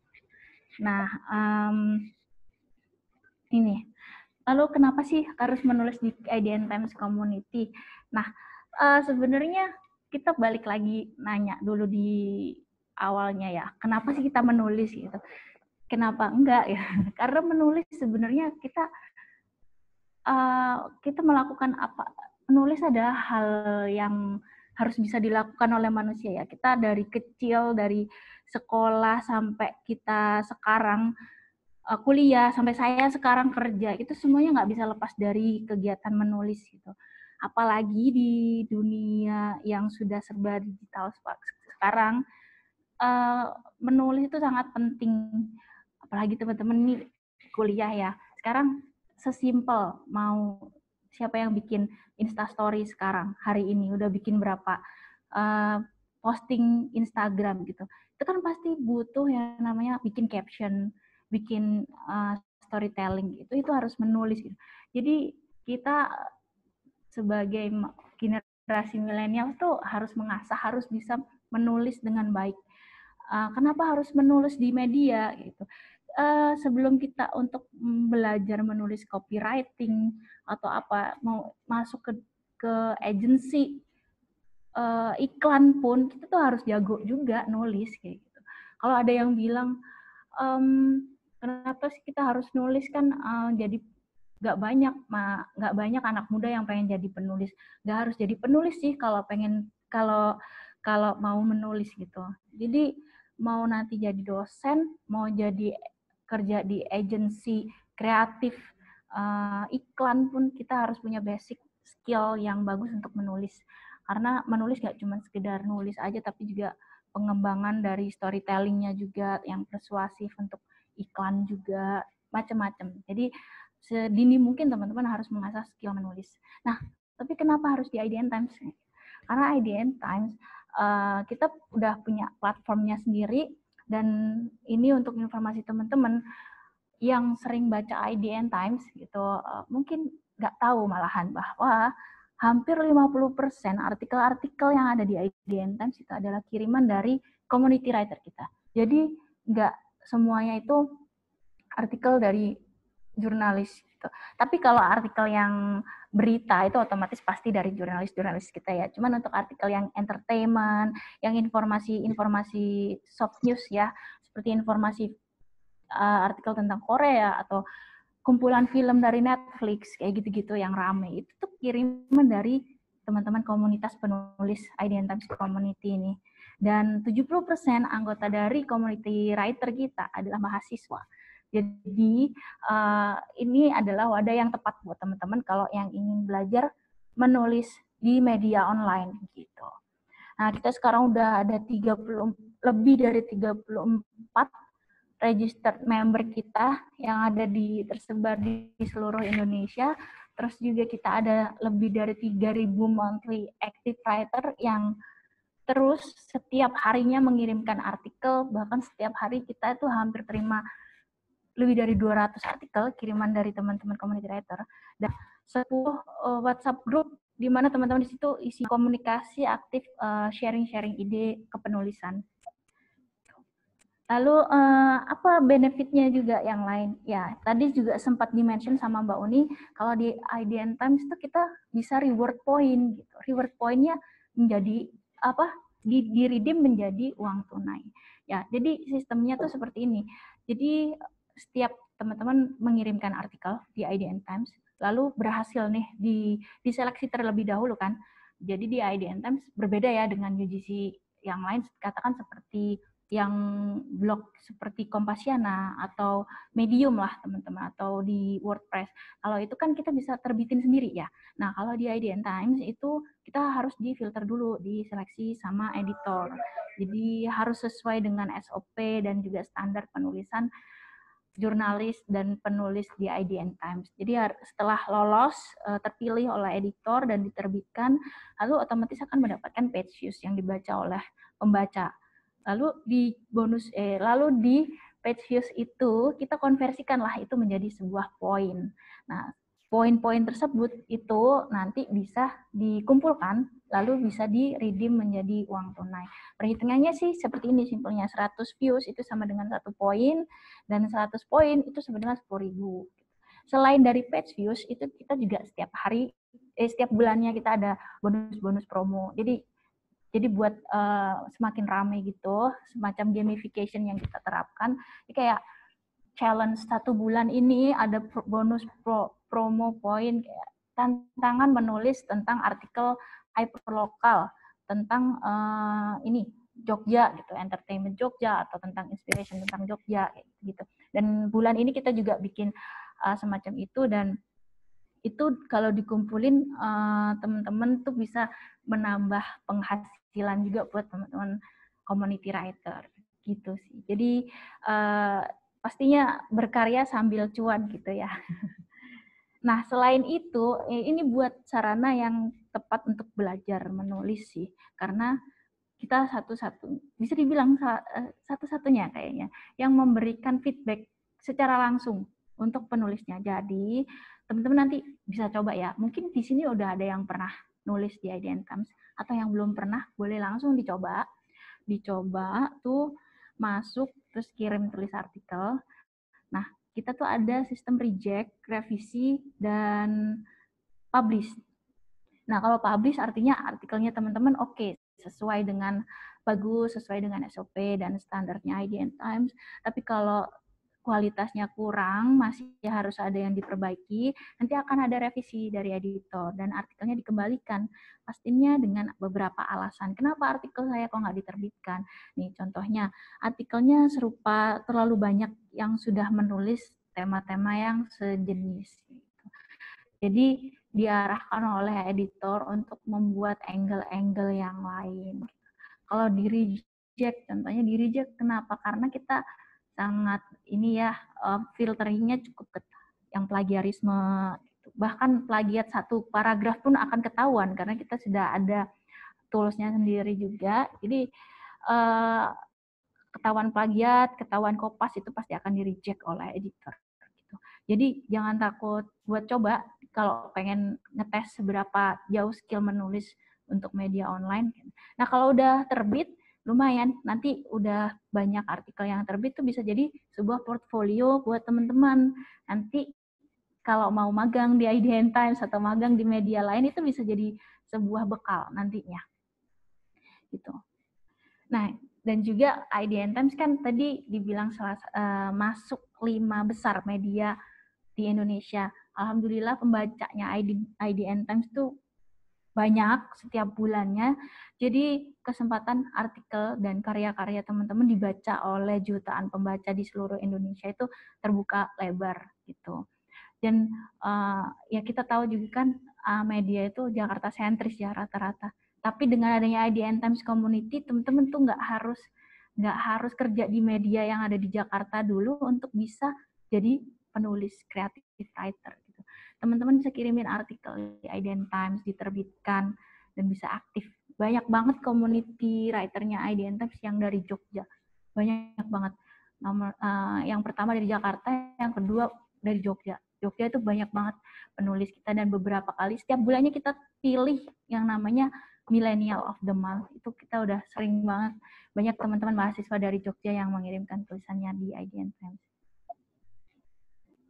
Nah, kita juga kalau ikutan komunitas kita, kita juga punya uh, ini, kita pasti punya beberapa program, contohnya beberapa event itu IDN Times uh, Indonesia Writers Festival dan juga IMS itu kita sering pasti kita akan undang teman-teman dan pastinya ada dapat VIP-nya gitu. Jadi teman-teman community writer ini sering kita undang di berbagai event ya IDN media gitu.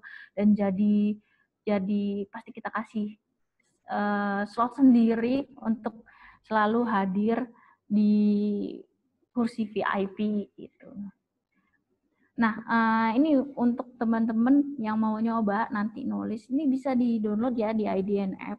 Itu bisa langsung nulis di IDN app-nya dan user friendly layout juga. Jadi memudahkan teman-teman untuk menuliskan. Teman-teman tahu sendiri juga bahwa format artikel di IDN Times tuh mungkin sedikit berbeda dengan dengan yang lain karena kita pakai listicle ya jadi ini sangat memudahkan udah layoutnya udah di kita buat sedemikian rupa supaya teman-teman bisa mengikuti seperti apa sih. Jadi ada section sendiri untuk menulis judul, memilih topik, juga untuk mengunggah gambar, gitu.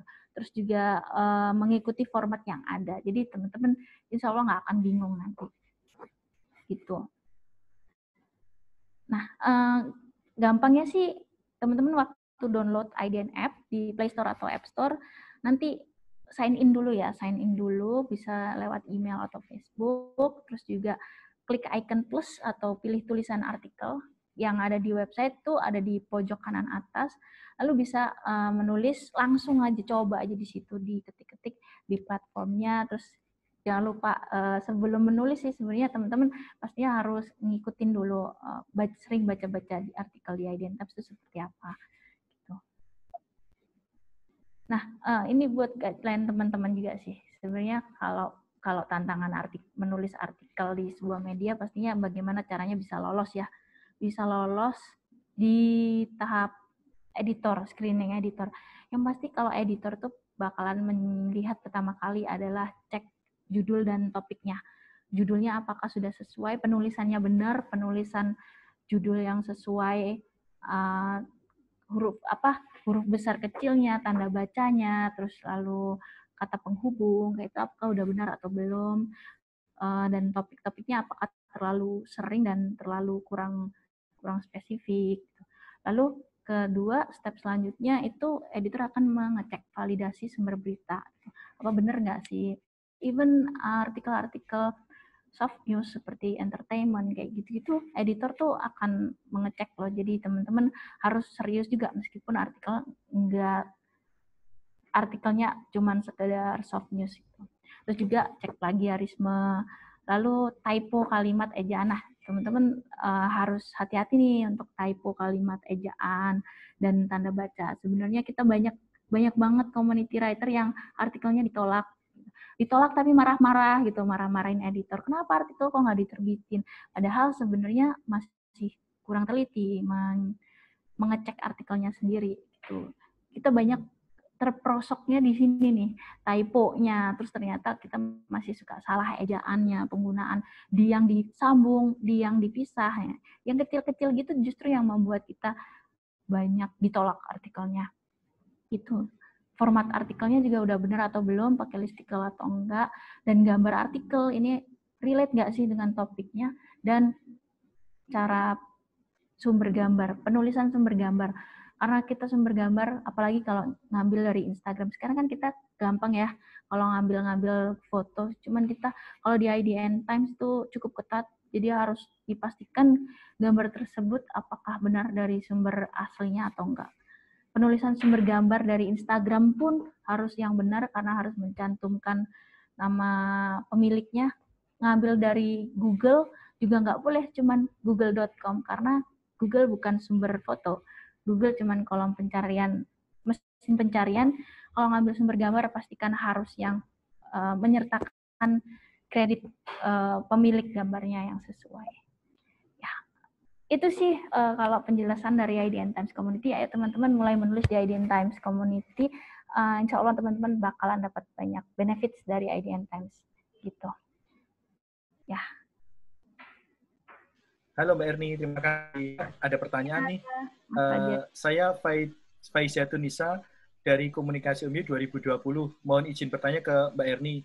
Uh, apakah apakah artikel kita terpilih untuk perbaikan dipublis masih ada perbaikan dari editor atau murni dari tulisan kita sendiri? Terus uh, yang kedua dari Mas Alif Nur Rohman, bagaimana caranya tulisannya tetap dibaca orang padahal sekarang banyak konten kreator buat video atau podcast dan dengan video podcast kita tidak perlu membaca, apalagi minat baca orang Indonesia itu menurut saya rendah. Nah, bagaimana tips and triknya agar tulisan kita dibaca banyak orang? Menarik ini, Mbak. Ya, ya, menarik menarik pertanyaannya. Uh, tadi pertanyaan, uh, terima kasih sebelumnya pertanyaannya. Uh, yang pertama tadi, apakah artikel yang diterbitkan itu murni dari penulisnya sendiri? Ya, kalau di IDN Times kan memang ada revisi ya dari editor, terus setelah dikembali dikirim kembali ke editor dicek lagi, kita akan terbitkan paling kalau ada perbaikan itu sekedar minim, minim minor minor editing ya. Seperti mungkin penggunaan judul yang dibuat agak lebih menggelitik gitu kan. Kalau ide uh, kalau kalau media-media online tuh judulnya agak dibuat unik-unik kayak gitu. Paling cuman sekedar judul atau mungkin subjudul subjudul subjudulnya aja yang di di otak-atik sedikit sama editor. Sisanya itu murni dari tulisan-tulisan uh, community writer. Jadi 80% lah itu itu murni karya teman-teman sendiri. Jadi editor juga tidak boleh mengedit sampai lebih dari 30% tulisan karena jadinya tidak ini ya, karena itu kalau lebih dari 30% rasanya kok itu bukan karyanya penulis itu sendiri gitu sih. Uh, terus lalu yang kedua mengenai itu gimana caranya biar tetap uh, membaca bisa tetap dibaca oleh pembaca ya.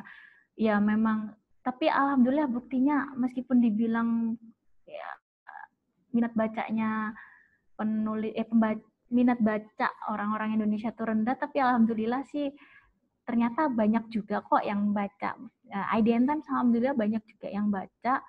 Uh, memang harus diikuti dengan beberapa cara apa ini ya beberapa strategi ya. Contohnya salah satunya kita membuat listicle itu kan supaya memudahkan orang membaca dan juga biar lebih menarik diberikan beberapa foto yang menarik. Nah itu hal-hal sekecil itu tuh sebenarnya salah satu strategi dan cara para penulis dan editor agar artikelnya tetap menarik dibaca. Kenapa kok mungkin ada yang terganggu ah, artikelnya kok cuman kumpulan gambar doang ya? Ada kan kalau di IDN Times kayak 9 potret apa gitu 10 potret apa gitu meskipun itu cuman sekedar sekedar subjudul atau foto doang gitu tapi ya memang itulah yang disukai oleh pembaca. Tidak dipungkiri bahwa itu cara cara bagaimana cara orang-orang membaca tuh seperti itu sekarang beberapa orang gitu. Uh, sebenarnya yang paling penting adalah penulis itu harus tahu sih sebenarnya targetnya tuh siapa gitu. Aku menulis ini tuh buat siapa gitu. Kan kita juga nggak bisa menyenangkan semua orang ya, nggak bisa tulisan kita itu untuk bisa dibaca semua orang gitu. Pasti ada yang nggak suka juga gitu. Jadi yang paling penting adalah kita membranding diri kita sendiri sebagai penulis kita mau nulis nulis apa, nargetin siapa, itu yang paling penting sih gitu. Uh, paling yang bisa kita kontrol, kita mainkan adalah ya pemilihan angle yang lebih tepat, terus juga visualisasi yang lebih menarik gitu, pakai fotonya yang lebih menarik, terus uh, topik itu mungkin satu topik bisa dipecah dari 10 menjadi 10 angle, cari angle yang paling menarik, yang paling unik gitu. Jadi insya Allah tidak akan kehilangan pembaca. Itu sih kalau dari saya. Oke, terima kasih Mbak Erni. Jadi ya, tulisan kita menarik. Sebenarnya IDNTM itu sudah sangat enak banget teman-teman karena modelnya ada listicle, ada list-list gitu. Dan itu sebenarnya gaya yang disukai oleh generasi milenial saat ini. Tadi Mbak Uni cerita generasi milenial itu tugas kuliahnya banyak banget. Generasi milenial ini sudah dipapar oleh media yang sangat banyak banget. Nah, makanya agar tulisan kita dibaca, salah satu clue-nya adalah uh, dibuat listikal. Teman-teman yang berbahagia, jangan lupa, jangan lupa lihat di menu chat, uh, silahkan mengisi feedback untuk mendapatkan e-sertifikat. Terima kasih teman-teman di IDN Times yang sudah menyediakan sertifikat untuk kami bisa menambah portofolio. Tapi yang paling penting utama lagi adalah segera buat akun dan segera aktif untuk menjadi konten kreator. Karena eranya sekarang adalah era konten kreator. Siapa pun sekarang sudah punya medianya sendiri-sendiri. Nah, kita beruntung ada IDN Times yang bisa memfasilitasi teman-teman untuk buat konten kreator. Saya ingat dulu kalau saya kuliah, kalau pengen tulisannya dimuat di koran tuh harus kirim, ngepin, dikirim kayak uh, Mbak Uni cerita tadi gitu via email dan sebagainya. Sekarang kan sangat enak banget. Kita bisa nulis dengan menggunakan HP, apalagi eranya sekarang adalah Moju, Mobile Journalism. Monggo silahkan, masih ada lima menit waktu sebelum kita akhiri. Jika ada pertanyaan, teman-teman, atau Mbak Erni mau nambahin sebagai closing statement? closing statementnya ya paling kan itu sih teman-teman jangan ragu buat nulis uh, jangan apa ya sekarang udah banyak banget platform nulis mau nulis di Alien Times mau nulis di media mana pun yang penting jangan ragu buat coba jangan masalah nanti diterima atau enggak coba aja dulu gitu dan uh, jangan sampai waktu kuliah nggak ngapa-ngapain uh, nggak pernah nggak pernah mencoba untuk berkarya apa pun sih. Nah, uh, kalau menulis uh, jangan takut ditolak. Gitu. Kalau ditolak terus-terus aja nulis. Gitu. Ya benar tadi kata Mas Fajar kalau dulu jauh lebih sulit. Sekarang tuh udah makin banyak. Jadi kalau kalau nggak nulis, kalau nggak bikin sesuatu, nggak berkarya itu kayaknya rugi besar. Gitu. Oke, hmm. jangan lupa teman-teman baca juga tulisannya uh, Mbak Uni Lubis yang ada di link sebagai teman-teman. Nah, uh, oh Pak Takdir, ini sudah mau selesai, mau selesai, jangan keluar dulu. Mari kita foto bareng. Mohon izin foto bareng, silahkan semua dinyalakan kameranya teman-teman. Silahkan semuanya kameranya dinyalakan. Mari kita berfoto bersama, berfoto bersama. Oke, okay? uh, monggo silahkan kapan lagi kita bisa foto dengan Mbak Uni Lubis, bisa foto dengan Mbak Erni dan teman-teman di IDN Times. Harapan kami setelah ini teman-teman banyak menulis, membuat konten, uh, terlibat dalam engagement karena kata Mbak Uni Lubis tadi, kata Mbak Erni tadi itu bagian dari portofolio yang sangat pasti akan bermanfaat, 100% bermanfaat ketika teman-teman masuk ke dunia kerja. Mohon dinyalakan kamera. Oh, terima kasih Bang Abrar dari Universitas Muhammadiyah Sumatera Utara Pak Dekan dari UMSU Medan. Terima kasih teman-teman dari Universitas Muhammadiyah Ponorogo. Halo Pak Jun. Universitas Muhammadiyah Cirebon. Halo, siap. Halo Pak Jun. Selamat sore. Selamat sore semuanya. Mbaknya, Mbak Uni, ternyata fansnya banyak banget Mas. Mbak, dari Malang ada, dari Ponorogo, dari... Adit untuk mula Mas. Horas, Horas, Medan. Nanti setelah ini semoga IDN Times ganti ke Medan gitu. Oh, IDN Times ada di Medan juga. Oke, siap. Silakan. Ya, kita jadwalkan, Mas. Udah jadwal, Mas. Monggo, Mbak Uni, Mbak Tera, Mbak Erni, ini ada Pak Dekannya langsung oh, join siap. di sini. Gitu. Yuk, foto bareng. foto bareng Kalau silakan gaya. Medan pakai Horasbah ya. Oh, Rasbah. Horas bah. Ucok durian, ucok durian. Ucap durian. Eh, ada yang bukan ucap. Yang satu lagi ada juga. Yang baru apa namanya? Si bolang, bolang, bolang. Bolang. Yang ah, si bolang. Oke, Mbak Tera, silahkan kalau mau diambil gambarnya. Mari bergaya. Oke, satu, dua, tiga. Lagi, ya, sekali lagi ya. Satu, dua, tiga. Terima kasih teman-teman. Terima kasih semua. Terima kasih terutama Kak Uni Lubis, Mbak Erni, dan semuanya. Semua dari banyak kampus. Mohon maaf tidak bisa memention satu persatu dari UMY maupun dari luar UMY. Semuanya dapat insight banyak. Mari kita engage, engage di media digital. Eh, terima kasih. Officially kita tutup dengan membaca Hamdalah. Alhamdulillah. Alhamdulillahirabbil alamin. Assalamualaikum warahmatullahi wabarakatuh. Waalaikumsalam. Waalaikumsalam warahmatullahi wabarakatuh. Mbak Uni, makasih sekali ya. Erni, Sama-sama, Abra. Pak. Dari